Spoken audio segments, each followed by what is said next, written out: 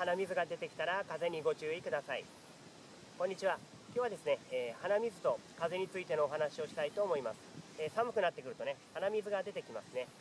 で鼻を噛む回数が増えてくる、えー、こうすると鼻が詰まる。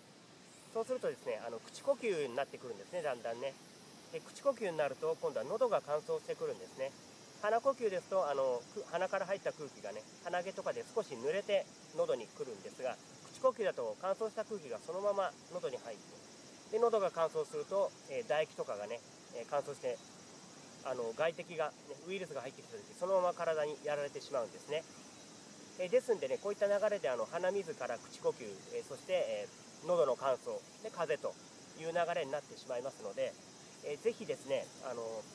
あの鼻水が出ないようにする。そう体を冷やさないというのが最初の段階がとても大事になってくるんですね、えそれと鼻呼吸の習慣ですね。口を乾燥させずに鼻呼吸にする、えー、まあ、これにはやっぱりあのヨガの鼻呼吸とかがすごくおすすめなんでね、